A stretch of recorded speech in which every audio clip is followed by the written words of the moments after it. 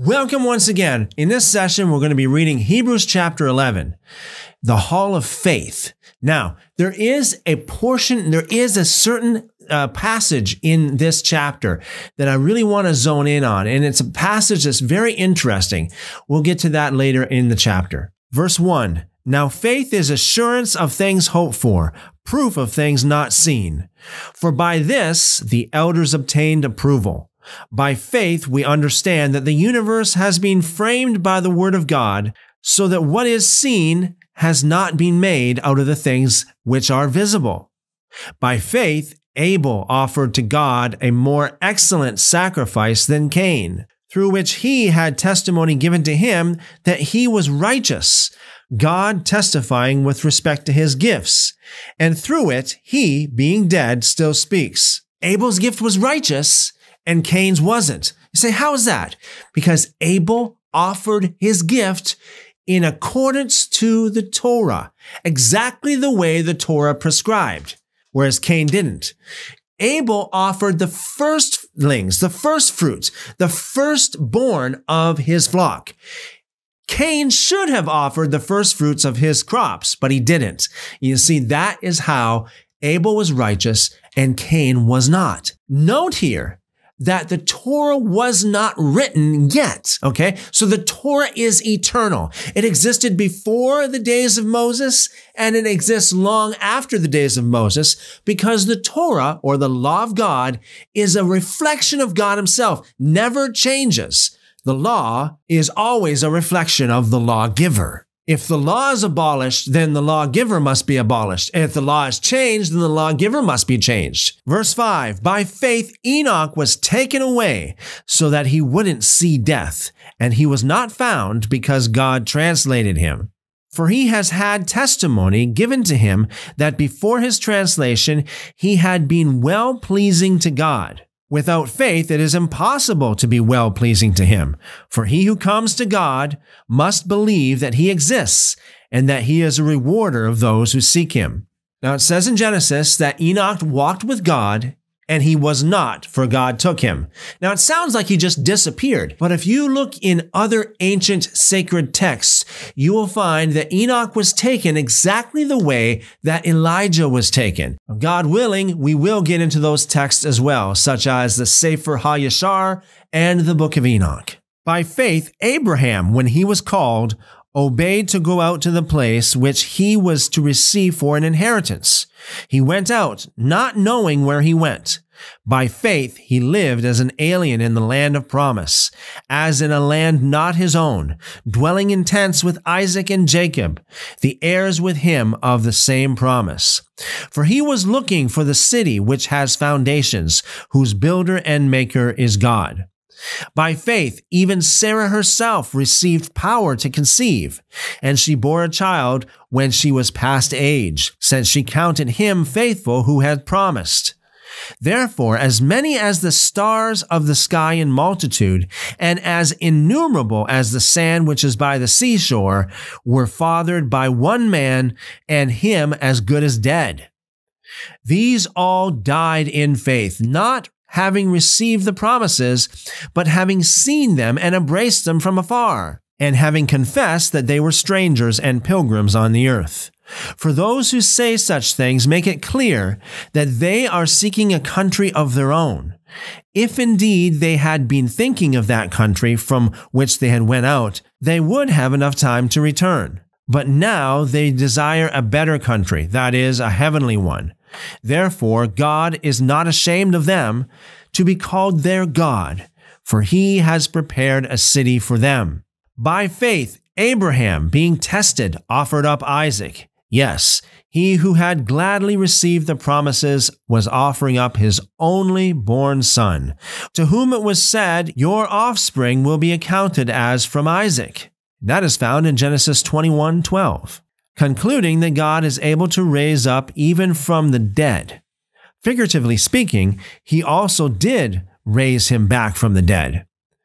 By faith, Isaac blessed Jacob and Esau, even concerning things to come.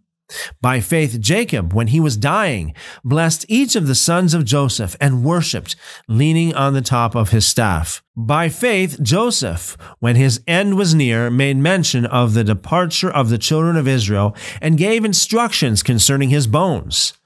By faith, Moses, when he was born, was hidden for three months by his parents, because they saw that he was a beautiful child, and they were not afraid of the king's commandment.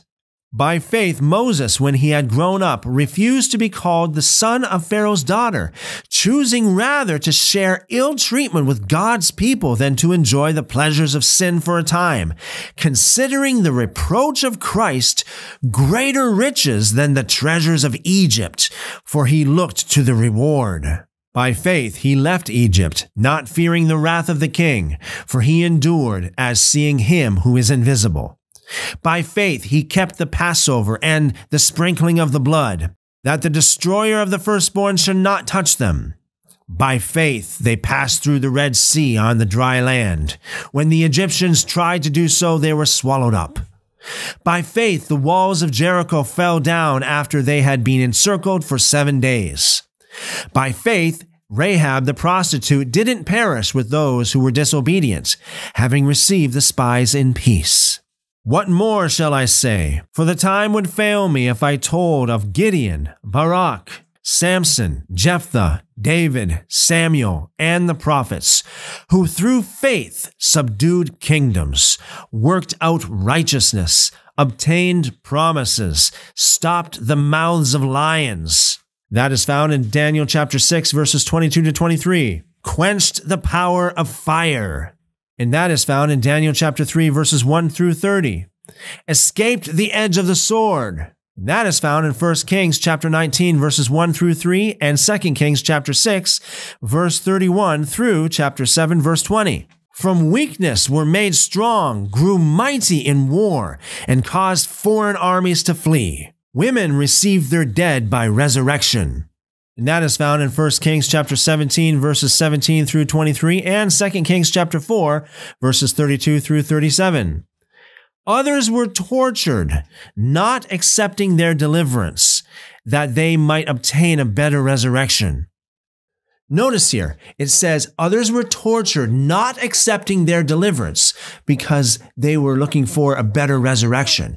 That is found in the Apocrypha. If you remember earlier on in the book of Hebrews, I said that there's so much Apocrypha here in the book of Hebrews. This is another spot because in second Maccabees chapter seven, we have a, we have the story of a woman with seven sons of hers, and all of them got completely tortured and killed because of their faith, not accepting their deliverance, because each one of them was offered deliverance. We also find that story in 4 Maccabees. Verse 36 Others were tried by mocking and scourging, yes, moreover, by bonds and imprisonment.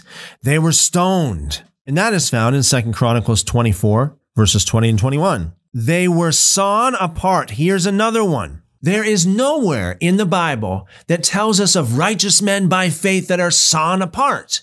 But in the Jewish Talmud, it tells us that Isaiah was. That story can also be found in the ascension of Isaiah. Now, there is speculation as to when the ascension of Isaiah was written. Some people think it was before this book was written, the book of Hebrews. Some people think it was after. But the point is this, that the oral traditions of the Jews were kept apart from canonical scripture. And this is obviously where they get this from. So that brings me to another point. It is so very important to read and study and know the Apocrypha and the Pseudepigrapha and a lot of the other Jewish writings as well. Because just the scriptures alone, just, just the one book that we can hold in our hands doesn't tell us everything. It can't. And again, God willing, we will get to all of those very interesting books and ancient texts. They were tempted. They were slain with the sword. Jeremiah chapter 26 verses 20 to 23 and 1 Kings chapter 19 verse 10. They went around in sheepskins and in goatskins, being destitute, afflicted, ill-treated, of whom the world was not worthy, wandering in deserts, mountains, caves, and the holes of the earth. I love this, of whom the world was not worthy.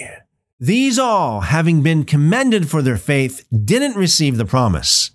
God having provided some better thing concerning us, so that apart from us, they should not be made perfect. If these videos have been a blessing to you, be sure to go back in the archives, go back to the other videos in this channel and download them. Download all of them because we don't know how much time we have left here. Until next time, seek God with all your heart, and if you do, you will find him. Call upon him, and he will show you great and mighty things. Love you guys.